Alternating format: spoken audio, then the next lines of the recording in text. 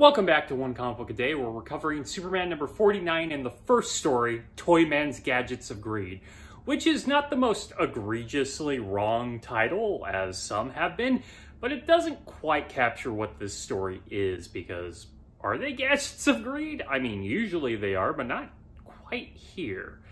The toy man is going to jail. He's being taken to jail for uh, trying to steal this rich man's pearls, and there were five witnesses. I have to establish that because there's a lot going on in this story.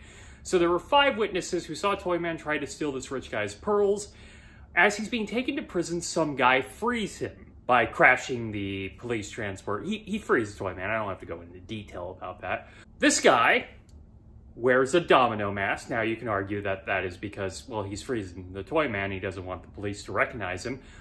But pretty much the minute you see him in a domino mask, you assume that he is the true villain of this comic. Like, only heroes and villains wear domino masks in comic books. So this guy seems to really like the toy man and wants to help the toy man prove his... I was about to say prove his innocence, but no, he's not proving his innocence. He's getting revenge so he wants to help the toy man and he just gives the toy man a toy store. Toy man at no point asks any more questions about this, like, why are you giving me a toy store?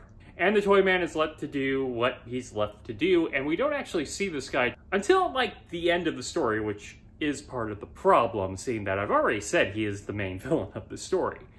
Now, these witnesses start dying from toy-related accidents. Well, not exactly toy-related accidents, as these toys are actually deadly. One of them is killed by a novelty snake in a can, you know, peanuts. Oh no, a snake! Except it's poison and bites him and he dies.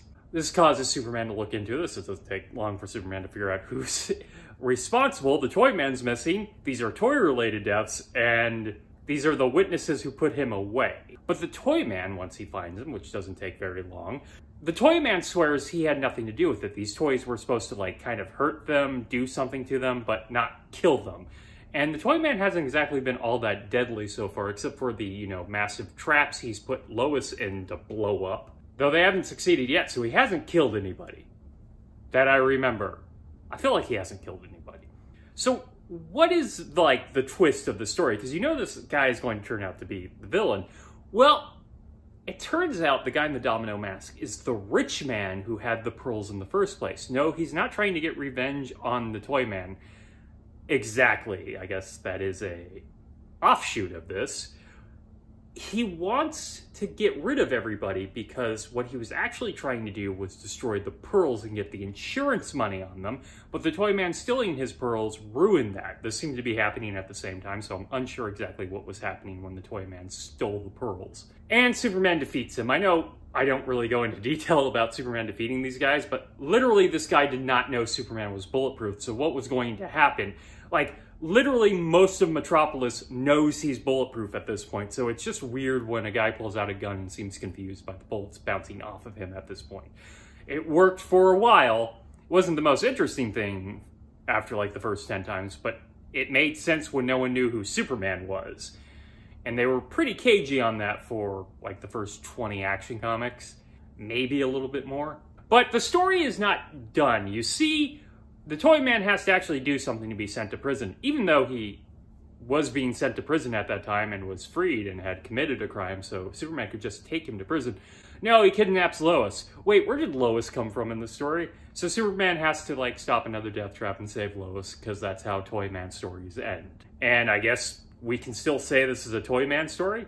He had to do something to be thrown into prison. I don't know why. We could have spent those pages developing the other villain more, but whatever it's it's it's a lesser Toyman story that seems a little confused about what it wants to do. Like we may have needed to spend a little more time with the actual villain of the story, which is hard now to say, seeing that the Toyman did something at the end, but still, the other guy was the actual villain.